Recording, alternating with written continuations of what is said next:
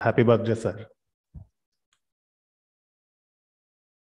Okay. Okay. Okay. So let's begin. So the title of my talk is uh, Totally Real Biquadratic Fields with uh, Large Polya Group. Uh, and it's a joint work with uh, Professor Anupam Saikia. So uh, let us start with uh, something very elementary. So for example, if we start with a polynomial fx with coefficients in the ring of integers z, then it's pretty obvious that once we plug in uh, integral values uh, in the argument of f, then we are going to end up having uh, a rational integer. Uh, in particular, fz is a subset of z. But it may also happen that for some other polynomials, like uh, if we allow uh, the coefficients to come from rational numbers instead of only integers, then the same property might also happen. as we can see from this example of f1x and f2x, so uh, the first one is that uh, we can see that uh, the product of n consecutive integers is divisible by n. So f1 of z is lying inside z. And here for the second example, p is a prime number. So by Fermat's little theorem, it is guaranteed that f2 of z is also a subset of z.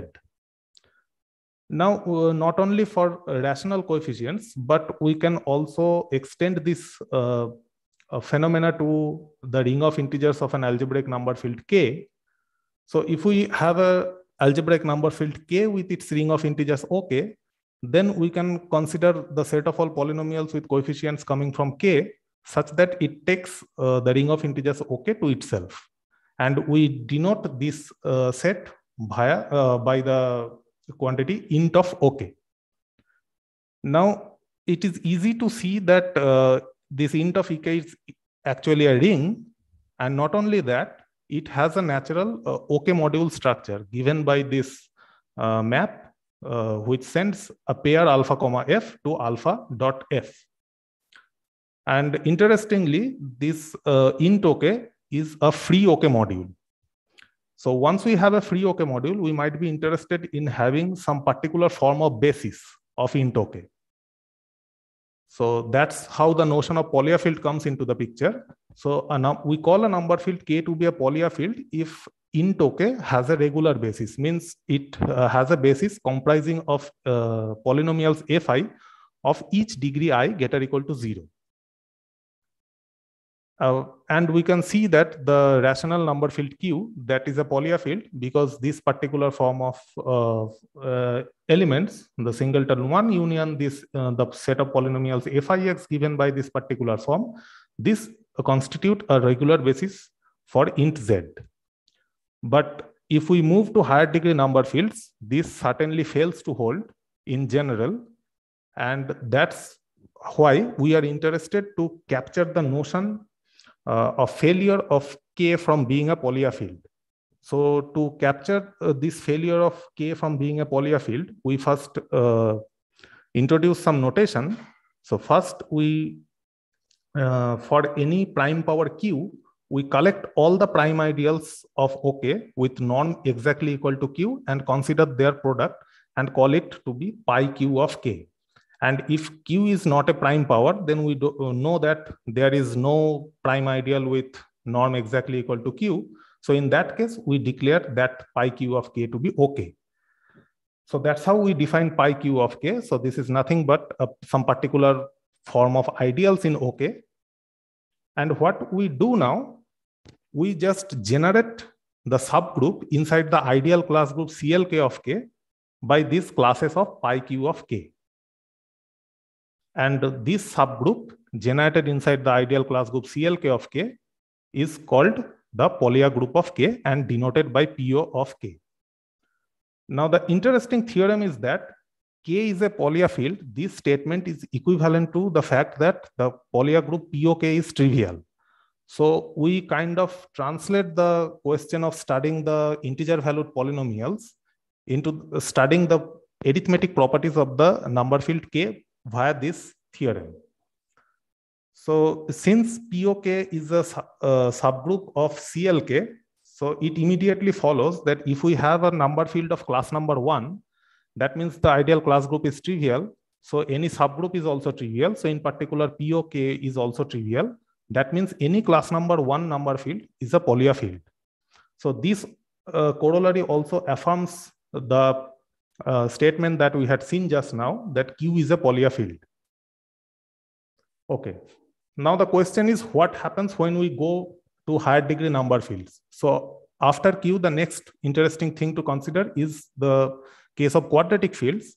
And in 1982, due to the work of Zantema, we completely know the Polya uh, fields uh, which are quadratic. So these are essentially given by this uh, form of discriminants. So uh, in particular, we can note that Q square root uh, P is always a Polya field and q square root minus p is polya uh, if and only if p is 3 mod 4. Otherwise, uh, the discriminant can have at most two prime factors. So the upshot of this uh, result is also that uh, if we allow more than two prime factors in the discriminant of a quadratic field, then it fails to be polya. All right. So after quadratic fields, uh, Leriche uh, recently in 2013, she classified all cyclic cubic fields that are polya so essentially, they look like uh, k equal to q alpha, where alpha satisfies some particular kind of cubic polynomials, either x cube minus 3x plus 1 or x cube minus 3px minus pu, where p is a prime number of some particular form and u is coming from the arithmetic progression 2 modulo 3. And again, uh, she con considered the biquadratic fields, but uh, she could give some conditions on the a polyanase of biquadratic fields only under the assumption that it is a compositum of two quadratic polya fields. So this leaves enough scope for us to study what happens to the other cases, uh, whether we can conclude some biquadratic field is polya or not, uh, when it is not a compositum of two polya, uh, quadratic polya subfields. And before we go more deeply into this problem, first we see a connection of this polya group with the ramification of primes, uh, since polya group is a subgroup of the class group, and the ideal class group is isomorphic to the Galois group of the Hilbert class field over K. So we might expect some relation with the ramification of primes. So Hilbert first observed that the uh, for a quadratic field, the order of the polya group is given by 2 to the power number of ramified primes minus 2 or minus 1 depending on whether the real uh, quadratic field is real and the sign of its fundamental unit. And later, much later, in 1982, Zan, uh, Zantema extended this result to a much general class of number fields. So he considered finite Galois extensions uh, K over Q with Galois group G. Then we know that the unit group OK star can be made into a G module uh, by the obvious action, sigma comma alpha going to sigma of alpha, then we can consider the cohomology groups, uh, in particular the first cohomology group, H1G OK star, that fits into an exact sequence like this. So H1G OK star injects into the direct sum of Z mod EIZ, where EIs are the ramification indices of rational primes that are ramified in K over Q, and the quotient is given by the Polya group. So in some sense, this theorem tells us that if we can somehow control this first cohomology group, then we uh, can uh, say much more about the polya group and in particular the class group because that's a subgroup of the ideal class group. So any information regarding POK will also provide some insight about the structure of CLK. Okay, so these are uh, three of our first results that we obtained in this direction. And this is a joint work with uh, my postdoctoral mentor, uh, Professor Anupam Saikia. So we've considered biquadratic fields, uh, three families of biquadratic fields given by q square root p square root qr, where p and qr are coming from some particular arithmetic progressions. Uh, and there are some mild conditions on the Legendre symbols.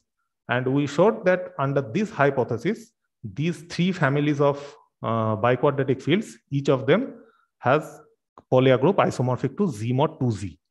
So in particular, they are not polya. All right. And for the rest of this talk, I am going to uh, give a sketch of the proof of our latest result. Uh, that is also obtained with Professor Anupam Saikia. Uh, so we proved that if we have uh, any, if we start with any positive integer n, then there are infinitely many totally real biquadratic fields whose polya group is isomorphic to n copies of Z mod 2Z. And as a corollary of this theorem, we can say that there are infinitely many totally real biquadratic fields whose class group has two rank at least n because POK is again a subgroup of CLK. So this corollary is kind of immediate from this theorem. So this essentially gives us uh, some family explicit families, infinite explicit families of totally real biquadratic fields whose class group, group has two rank being at least n. Okay. So let us now look at the sketch of the proof. So for this uh, proof, we uh, require this kind of key lemma for this. So this is very elementary. Uh, so, so we first fix a positive integer t, which is bigger than or equal to 2. And we fix uh, epsilon ij, which, which is either 1 or minus 1 for every unordered pair i comma j with i and j uh, ranging between 1 to t. Then there exist infinitely many prime tuples of the form P1, P2, PT, PT such that all of them are coming from the arithmetic progression 1 mod 8 and the Legendre symbol Pi over Pj is exactly equal to epsilon ij whenever i is not equal to j. And in 1969, uh, thanks to the result of Trotter, so he uh, produced a criteria for, by which we can decide the uh, sign of the fundamental norm, uh, a sign of the fundamental unit uh, of, uh, uh, I mean, a sign of the norm of the fundamental unit of a quadratic field of the form q square root p1, p2 up to pt. So uh, we know that any quadratic field looks like q square root d for some square free integer d. And uh, let's say that square free integer is just p1 p2 pt for the time being we are uh, focusing only on the on the type where all the prime factors uh, are of the form 1 mod 4 then under these two conditions uh, we can say that the fundamental unit uh, will have norm exactly minus 1 so in particular, if t is odd, then we require all the epsilon ij's to be minus one. And if t is even, then uh, some stringent condition is required, like the first two primes p1 and p2, they might be quadratic non-residues mod each other. And for the rest of these things, uh, if it doesn't involve one, then they are again non-residue. And if it involves one, then each of them is a residue mod each other. Uh, so, and our lemma uh, essentially guarantees that uh, whatever be the uh, requirement, we indeed have an infinite supply of such primes. Okay, so now let's proceed to the proof. So we, uh, since we want to show that for any integer n such a family exists, I will sketch the proof only for the odd case. then, and for the even case, a similar argument will give us the required result. So first we assume that t is an odd integer. Then we pick primes p1, p2, pt, each coming from the arithmetic progression 1 mod 8, and the Legendre symbol to be minus 1. And we have already seen that our lemma uh, essentially guarantees us so that we can uh, indeed pick such primes satisfying these conditions. And then we consider the biquadratic field q square root 2 comma square root p1 p2 pt now we are going to prove that for this quadratic field, we have that POK is isomorphic to Z mod 2Z power n. So note, uh, we call the three quadratic subfields by K1, K2, and K3.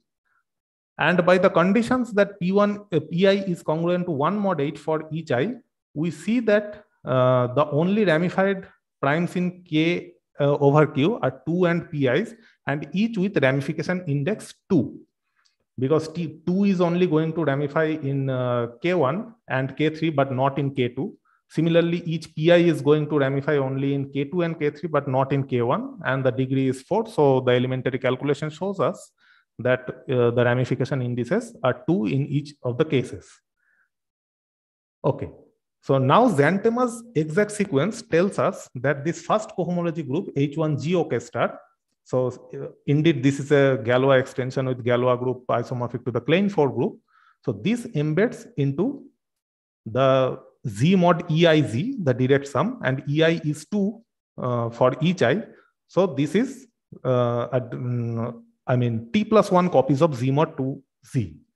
Now, if we can somehow prove that this first cohomology group is isomorphic to Z mod 2Z, direct sum Z mod 2Z, then we can uh, see by the exact sequence that the polya group is isomorphic to the quotient of this t plus 1 copies of Z mod 2Z over H1 G star.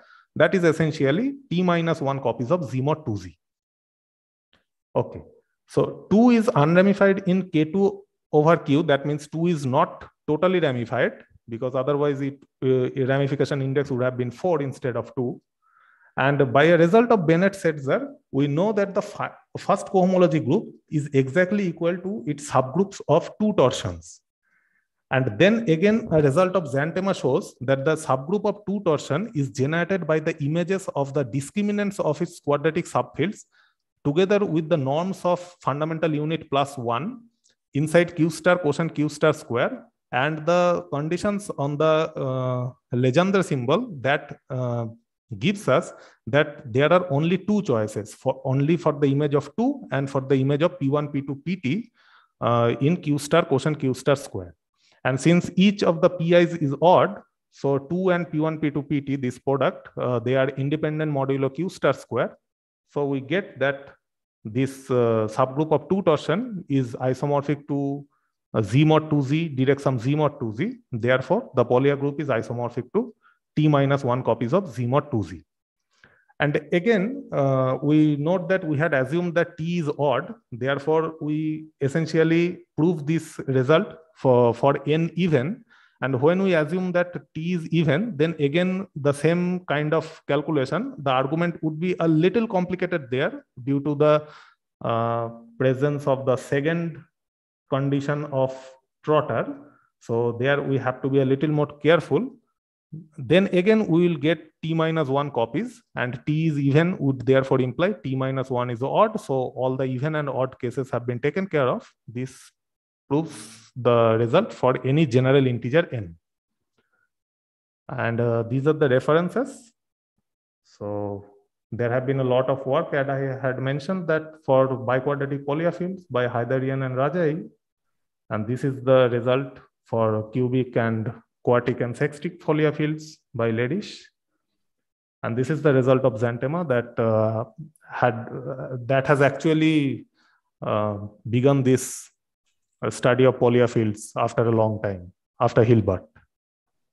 Yeah. Okay. So thanks for your attention. That's all. Uh, yes.